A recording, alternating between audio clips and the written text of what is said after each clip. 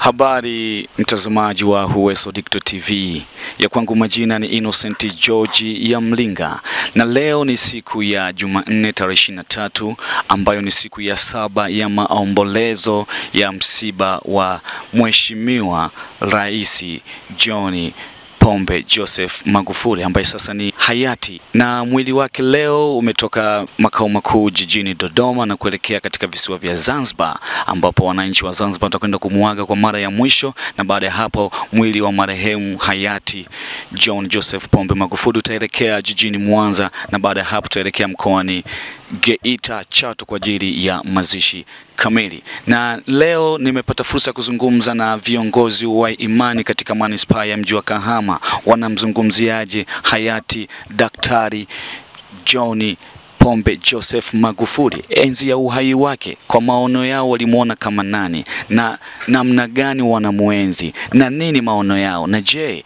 kwa rais aliyopo sasa nini hasa wanachomwombea na nini wanamhitaji afanye katika awamu yake hii, awamu ya sita? Endelea kufuatilia Hueso Dicto TV. Kwangu majina ni Innocent George ya Mlinga. Kwenye changamoto ambayo imepata ulimwengu ile wanaita COVID-19, kulikuwa na shida sana kwa mataifa ambayo tuliyaamini. Wengi waliamini katika dawa, wengi waliamini katika chanjo, wengi waliamini katika barakoa, wengi waliamini katika sanitizer. Lakini unaweza kuona mtu huyu aliyepata ufunuo, yeye alimtaja Mungu katikati ya wimbi.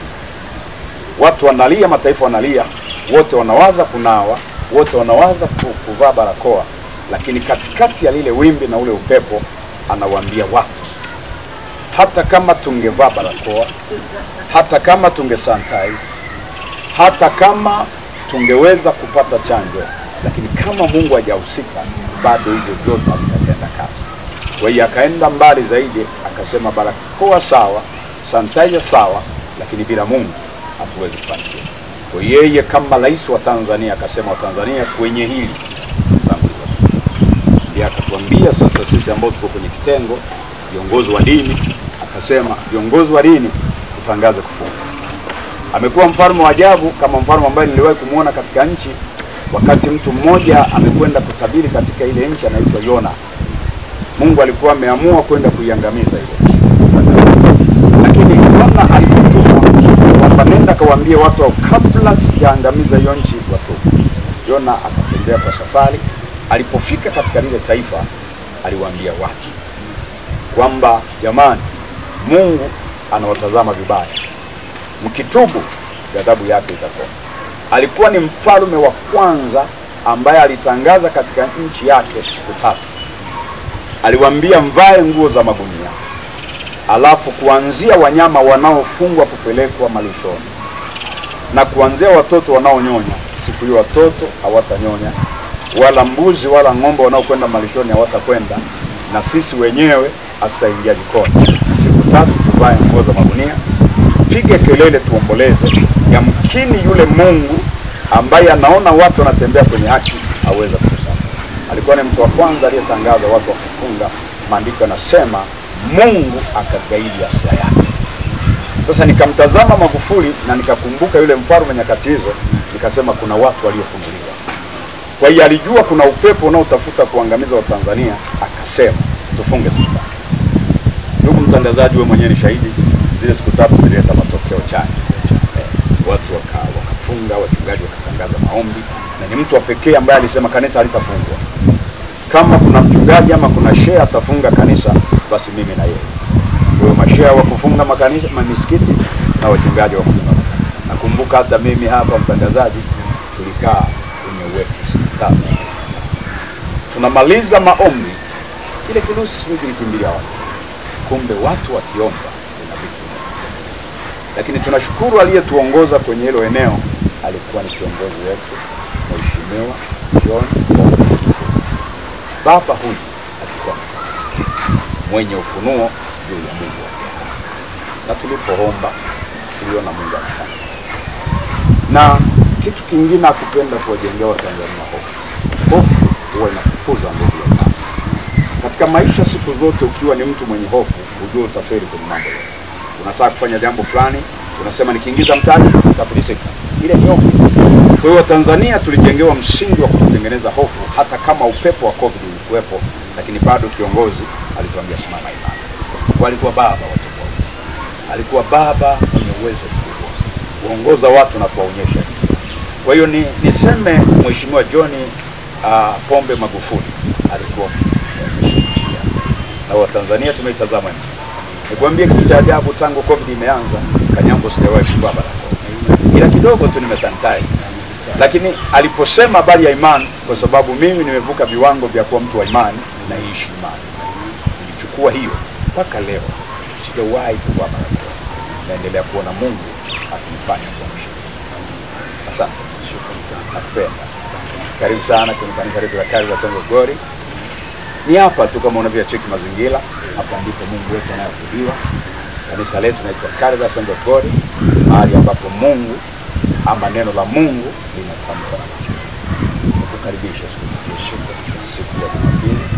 Ibada zetu zinaanza saa tatu na nusu mpaka saa saba kamili mchana. Mungu awabariki sana, muwe na amani.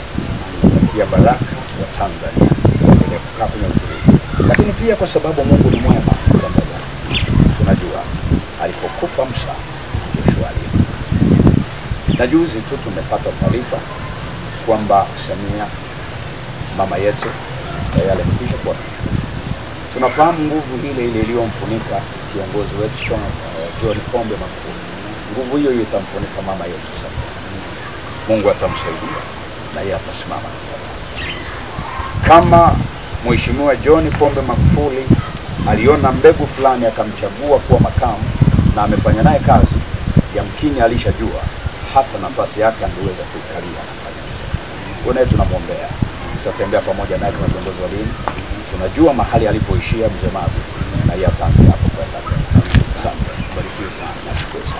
Via kwangu majina ni Innocent George Mlinga, nipo na mchungaji Kagoma wa kanisa la FPCT Galilaya Majengo, manispaa ya mji wa Kahama. Takwenda kuzungumza naye, atajitambulisha majina yake kamili, ni mchungaji kiongozi katika kanisa hili na Mtu huyu tukiangalia, mmoja alipochukua nafasi ya kuwa mbunge alianza kuboresha Chato kama sehemu yake ya kuishi.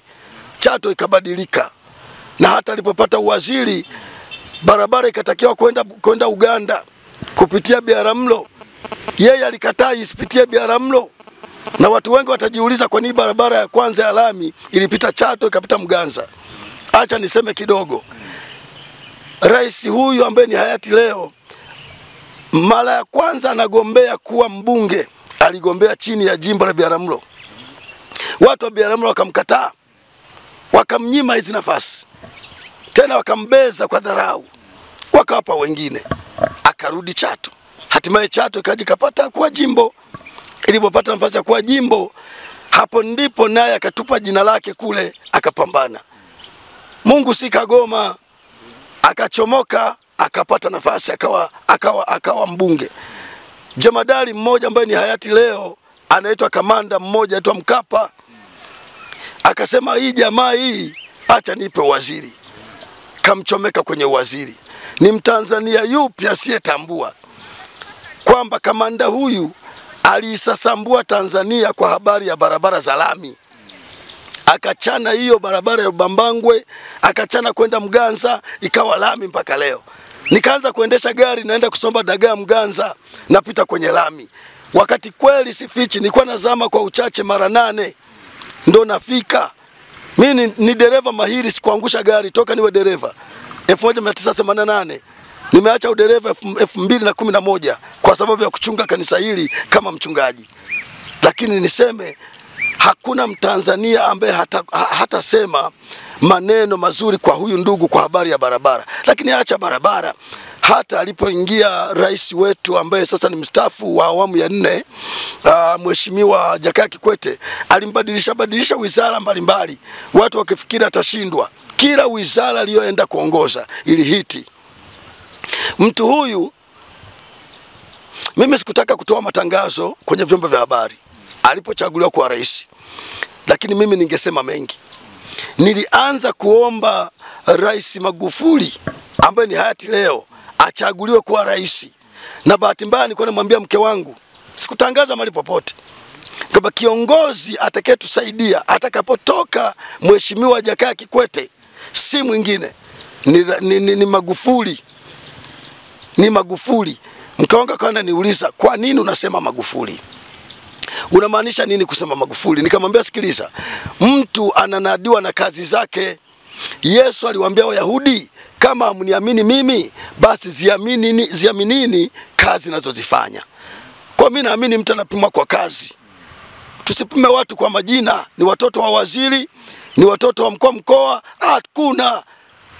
Magufuli ni mtoto wa mkulima kijijini Chato, ndiye ameitoa Tanzania kimasomaso mpaka mataifa yote nje wanaitangazaji. Niseme Watanzania wataungana na mimi kwamba ah, rais wetu huyu ambaye ni hayati, nikizungumza Magufuli, kila mtu atakubaliana na mimi kwamba ni, ni mtoto wa mkulima anatoka kijijini katika wilaya ya Chato. Sasa leo mtu huyu ndiye ameitoa Tanzania kimachomacho. Kuitoa kimasomaso ni kwa sababu gani? Aliichunguza Tanzania enzi zote ambazo alikuwa yeye ni mbunge, amekuwa waziri katika wizara mbalimbali, akiangalia ufisadi unaoendelea ndani ya nchi hii. Kwa yeye alikuwa anarekebisha makosa na ndio maana amefaulu. Labda niseme neno moja hili, niombe Watanzania wasimwigize Magufuli, bali wamwige wasimwigize ainukuu vitu vya watawala kina Mwinyi akina Mkapa akina Kikwete akaviweka hapa, akafanya marekebisho, akafanya usahihi, ametoka vizuri. Kwa ni hasa nikisema hivi, kwa upande wa Magufuli, mimi niseme kama kweli maneno haya Mungu anayasikia, amlaze pazuri. Kwa Watanzania akituuliza sisi, asimhukumu kwa jambo lolote ametutendea na ametutengenezea dira. Nimezungumza mahali, mahali, fulani nikasema ametutengenezea shamba darasa. Kama kuna Mtanzania atakosea, hata mama yetu Samia akikosea, atatengeneza Watanzania kumsema vibaya. Kwa sababu gani? Ana kielelezo, ana darasa, miradi mingi rukuki amezi, ame, ameacha ameanzisha, lakini haijakamilika. Sasa iwe kazi kukamilisha. Nilikuwa nilikuwa naongea na mtu mmoja leo akaniambia neno moja gumu, akasema mi naamini Samia atajaribu jaribu ndani ya miezi mitano sita saba, mingine atarudi huko huko walikokuwa zamani wa Tanzania. Nikamwambia sikiliza nikwambie Samia sio mchezo. Nasema sio mchezo kwa sababu gani? Ndiye amefanya na Magufuli miaka mitano, lakini nikatoa reference reference yangu nayoitoa ni ya mama mmoja aliyewahi kuongoza Kahama anaitwa Hawa Mchopa. Hawa Mchopa ni mwanamke aliikuta Kahama iko hoi bini tabani, akasema sasa nimekuja, wengi mnadharau mwanamke, mwanamke ameshika madaraka, subirini mtaona. Na nashukuru Mungu, yule mama alikuwa rafiki yangu. Sasa wakati mama naanza kazi, niko hapa, maendeleo yote unaoona Kahama yametokana na mwanamke mmoja anaitwa Hawa Mchopa. Kwa nikamwambia huyu baba, nikamwambia hivi, sikiliza, Hawa Mchopa anaweza kafanya vizuri kuliko Magufuli. Akashangaa, unamaanisha nini? Nikamwambia yeye sana, anaona mteremko, anakuja kufanya vitu ambavyo vimeshaanzishwa kazi, atabuni vitu vikubwa na vya ajabu. Kwa sababu gani? Ameishi kwenye utawala huu kwa muda mrefu wa kutosha. Kwa hiyo ninachoamini ni kwamba kwa upande wa mama sina wasiwasi. Ni waombe wa Tanzania sasa, tuondoe uoga, tuwe wajasiri. Onyo langu ni hili, wala rushwa, wapiga hela wanaotaka kufikiri kwamba kwa kuwa Magufuli amekufa watapiga hela, huyu mama atawapiga, atawamalizia ndani, wataozea Segerea. Huyu mama hana mchezo, mi naamini. Labda mtumishi, sasa labda Watanzania wamwenzi kwa namna gani hayati Daktari John Pombe Joseph Magufuli? Jambo ambalo kwanza wangemwenzi na, nalo ni kuhakikisha miradi aliyoianzisha haifi. Hapo sasa ninazungumza juu ya habari ya viongozi aliyowaacha, Hiyo ni moja ya kumwenzi, kama yeye alivyomwenzi Mwalimu Nyerere, alivyomwenzi Mkapa, amemwenzi Mwinyi, ameenzi Kikwete. Uh, ndugu yetu Magufuli hakufanya kwake tu, amerudia yale ambayo walishindwa kuyafanya akiwepo. Juzi nimemsikiliza rais wetu akizungumza, hata mambo ya reli waliwahi kuyawazawaza kwenye utawala wa nne, na haya wanayofanya, lakini wao hawakufanya vizuri kama alivyofanya Magufuli. Anakiri mstaafu rais wetu Kikwete. Sasa ili wamwenzi vizuri ni kuhakikisha wanamwenzi kuilinda miradi aliyoanzisha, lakini wasiache kuandamana na Mungu. Rais wetu alipenda kutanguliza Mungu, aliheshimu wachungaji, aliheshimu mashehe na viongozi wa dini, lakini alienzi hawa watoto yatima, wajane, machinga, walala hoi, watu wa chini wasiwaonee. Wakiwaonea Tanzania itazaa itazaa watu wenye waka- wakaidi, wakorofi, watasema mnatuonea kwa sababu walikufa. Mi nawaomba watawala watakaochukua madaraka wasiwaonee, wasiwaumize watu wa hali ya chini, maana aliwatetea sana. Nimewaona wakilia sana, ndio hilo. Hayati Joseph Pombe Magufuli alikuwa katika moja ya hotuba zake, na kila hotuba zake alikuwa akimtaja Mungu na alikuwa akimtanguliza Mungu. Wewe kama kiongozi wa imani, hili pia ulikuwa unamtazama kwa maono yapi? Ah, Kwanza kabisa niwaambie Watanzania, katika historia ya Biblia, acha agano la kale, tunaamini wapakwa mafuta ni watatu. Mpakwa mafuta wa kwanza ni nabii kwa ajili ya, ya ujumbe. Mpakwa mafuta wa pili ni kuhani kwa ajili ya ibada, lakini mpakwa mafuta wa tatu ni mfalme. Kwa mimi ninaamini anachonionyesha Magufuli, alifahamu nafasi yake ni ya kiroho pia rais wa nchi tusimtazame kwa jicho la, la binadamu tu, ni kiongozi wa kidini. Maana yake ndio maana nashukuru Mungu mwasisi wa, wa, wa taifa letu anasema a, serikali yetu siwa na dini. Kwa kuna watu waweza kumtazama Mama Samia kidini, wasimtazame kidini. Wakimtazama kidini watakataa kuongozwa naye, wamtazame kama rais wetu. Rais ni nani sasa? Rais ni mpakwa mafuta na kama ni mpakwa mafuta anawakilisha Mungu. Kwa rais anafanya kazi ya Mungu. Kwa hiyo rais, rais Magufuli alituonyesha Watanzania kwamba yeye anamjua Mungu aliyemweka pale.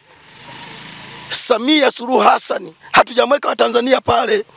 Magufuli wakati anamchagua na kumfanya kuwa makamo wake alifahamu tabia ya, ya, ya, ya Samia, alifahamu uwezo wake, alifahamu kujitoa kwake. Magufuli kabla hajachagua mtu, mimi ninaamini alikuwa anafanya uchunguzi. Kwa mimi ninaamini tumebaki na jiwe, tumebaki na kamanda, tumebaki na Debora. Debora kwenye Biblia, Baraka hakufanya vita bila Debora kumtangulia. Kwa mimi naamini Magufuli ametuachia mtu sahihi. Kwa hili tu, mimi kama kiongozi wa dini ninasema waenzi mwendo wake wa kumtanguliza Mungu. Hebu imagine, fikiria kama korona ingetokea, tuna rais mwingine nje ya Magufuli, nakwambia barakoa zingetuua, naamini lockdown zingetuua na Watanzania tungekufa wengi. Mi naomba mwenzi hata kwa hili la ujasiri yani kujitoa, kuacha uoga, wasio waoga wakatuingizia vitu vya ajabu ajabu katika nchi yetu hii. Ningesema kama mchungaji, wakubali kufa, kupo tu, hakuna ambaye atabaki duniani kwa kujikinga, bali Mungu akisema uondoke, utaondoka tu. Ametuambia iwe ni kwa korona, iwe ni kwa kansa, utakufa. Kwa nasema mimi kama mchungaji, tuenzi yale ambayo yeye alikuwa anayashughulikia. Ndiyo, Shukrani sana. asante na kushukuru. Mungu akubariki sana, Amina sana. amen. Mtazamaji wa Huweso Digital TV, nilikuwa na mchungaji Kagoma, mchungaji kiongozi wa kanisa la FPCT Galilaya Majengo, manispaa ya mji wa Kahama. Ameweza kumzungumzia kwa namna yake, kwa maono yake, mheshimiwa hayati Daktari John Pombe Joseph Magufuli toka enzi ya uhai wake, akiwa kiongozi, akiwa katika uongozi wa ngazi za chini kama mbunge mpaka kuwa waziri na baadaye kuwa rais wa Jamhuri ya Muungano wa Tanzania.